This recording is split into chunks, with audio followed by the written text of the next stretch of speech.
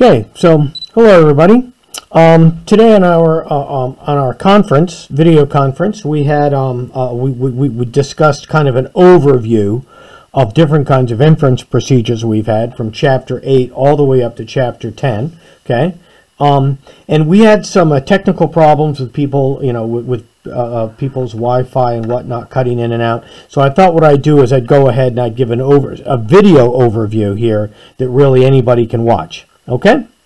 So what we talked about was we talked about estimating, uh, oh, we talked about different kinds of inference. And really there's exactly two kinds that we have to worry about. Okay? Number one, uh, the situations where you're supposed to estimate or find a value from a given situation.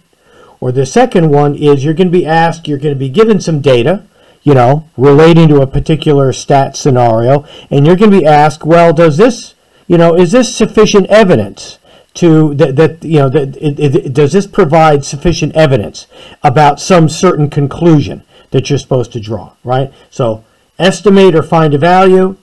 Is there, you know, does the data provide evidence to make a decision or draw a conclusion? Okay? All right, so the first one, estimating, involves, so those are the two kinds of things. The first one is going to is going to involve a confidence interval calculating a confidence interval. So if it's clear that the problem that you're working on involves the first scenario, that means you're going to calculate a confidence interval. If it looks like, if it's clear that your uh, the scenario, the problem that you're trying to solve involves the second bit here, the uh, providing evidence, right? That's going to involve a significance test, right? So that's the first thing you think about.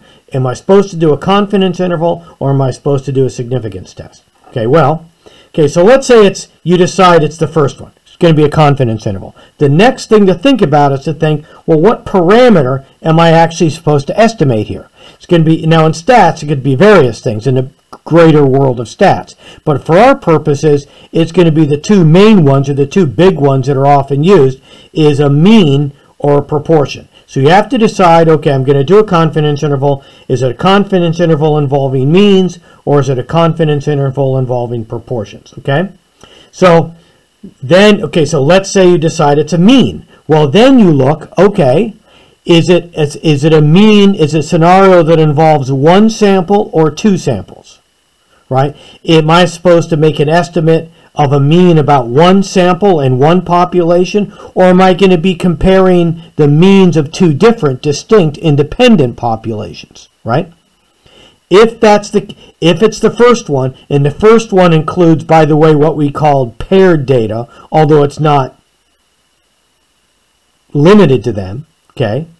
Um, you would go you would then say okay i would look to see whether i know sigma or i don't know sigma. Now for all the problems that we're going to have and all the ones we did have uh, it's going to be a sigma unknown or a small sample situation okay? So scenarios that involve a, me, a confidence interval for a mean a one sample mean right, are almost certainly going to be what we're, you know, we're not going to know the sigma, the standard deviation of the population. So that's going to be a one sample t interval. It's what you're going to calculate, right? So if you have to do the thing, you know, on a problem, you've got to name the test. And you'll say, okay, I'm going to do a one sample t interval for means, right?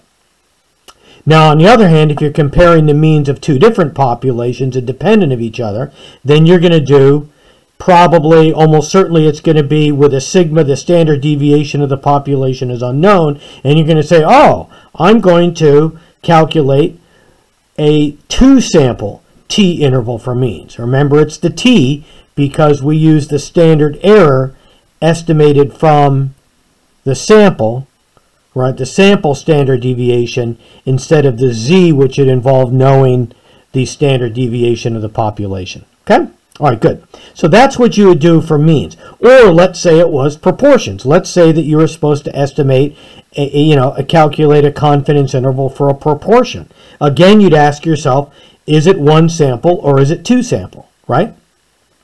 Okay, if it's a one sample, then it's a lot easier. We don't have to think about whether or not we know the standard deviation. It's going to be a one sample z interval for proportions. is the inference procedure you would use, and that's what you would calculate. If there are two samples, that is, if you've got two independent populations that you're comparing, why, that's going to be the two sample z interval for proportions. And all of these are found on your calculators under tests, okay, under the, the uh, uh on the stat menu and under tests, under the stat button and the tests menu. Okay, so that's that. So keep in mind that it's really they're not all totally different from each other. It's mean or proportion. It's one sample or two sample is what you're thinking about, okay? So that's confidence intervals. Now, on the other hand, what if you decide, oh, it sounds like they want me to do, I'm supposed to decide if there's enough evidence to, you know, draw a conclusion. So it sounds like I have to do a significance test. Well, then, here's what you'll think about. And it breaks down in kind of the same way that the confidence interval, intervals did. It's either going to be a significance test about a mean or a significance test about a proportion. You're either going to have a one sample or a two sample, right? Okay, if it's a one sample, and remember that includes paired data. And this would be scenarios where you've got one single sample, but there's two different measurements that are made about one set of people or one set of individuals. That's since there's one sample, right? The sample data would involve finding the difference individually between for each individual in the sample between the two measurements. Okay? Anyway, so that's the paired data really is a one sample situation, although it's not the only one sample situation.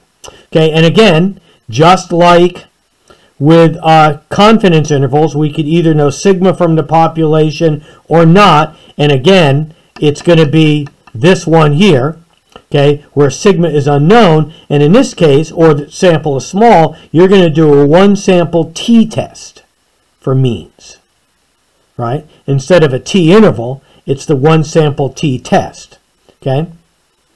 And then if it's two sample, right, it's going to be a two sample t-test where you're comparing two independent populations. And what, what that'll look like is you'll have one set of measurements on one independent sample and another set of measurements on another independent sample, and you're supposed to compare them. Okay, that would be the two sample, and that would be the two sample t-test. The t-test, because we don't know sigma. Okay, and again, with proportions, one sample versus two samples, okay? And it's a one sample Z test if you're supposed to, you know, make a decision about one set of data, one sample, or a two sample Z test for proportions is if you're comparing two different population proportions, two different population means, two different population proportions. Okay, now one more kind of one more word about this back to here, remember what the confidence interval will look like in general will be, you know, the point estimate, either a mean, either an X bar or a mean hat, or an X bar or a P hat, right? Plus or minus. If it's a sigma unknown, T star, plus or minus whatever the standard error calculation is. And there's a standard error formula for one sample, and there's a standard error for two samples, right? Down here, it would be the point estimate is equal to, and this is supposed to be a t, by the way. Okay, it would be z star times the standard deviation. Well, actually the standard error, I guess. But we're still using this, the, the the um, we're still using the standard error here because we're probably estimating it the population proportion from the sample, right? We're using p hat instead of knowing p. But in this case, we're still going to use z star as the as the critical value for the confidence level. And remember, if it's one sample, we'll use the standard error formula for one sample. And if it's two samples, we'll use the standard error for two samples, okay? All right, well, Okay, back up here, back to significance tests. Okay, well, if it's a significance test, remember you're stating the hypotheses, the null and the alternate, and then you're calculating either a z statistic, right? If it's a proportion, right?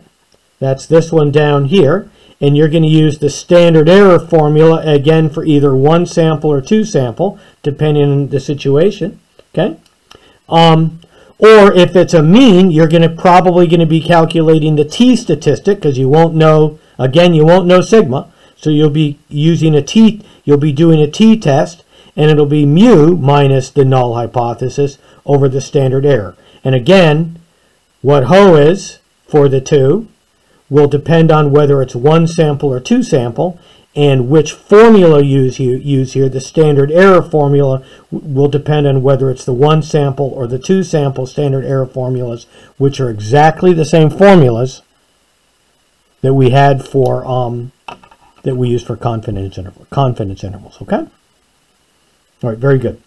Okay. So I think that's enough of this. If you've got any further questions, there's going to be homework um, we had classwork and homework on relating where we, we, we're given a certain scenario, a certain inference scenario, you're supposed to determine which one of these various tests you would use, right? Would it be a one sample t interval for means, a two sample t interval for means? Will it be a one sample z interval for proportions or a two sample z interval for proportions? Will it be a one sample, uh, or I'm going to point right here, a one sample t-test for means or a two sample t-test for means? Will it be a one sample z-test for proportions or a two sample z-test for proportions? Okay, when you do the inference among, you know, when you're doing the plan part of it, you've actually got to state what test you're using and what, what inference procedure you're using. And then you actually then, you, you would uh, uh, uh um, Having done that, you would state the confidence level or the critic, you know, the confidence level or the uh, uh, uh, the, the critical level that you're interested in um, test that you're interested in testing, and then you would use in the do you would use the appropriate formulas. Also, don't forget to test the conditions three for each and every uh, uh, inference situation, and you've always got to do the four step process, whether they tell you to do it or not. Okay? All right, very good. That is all. Until next time.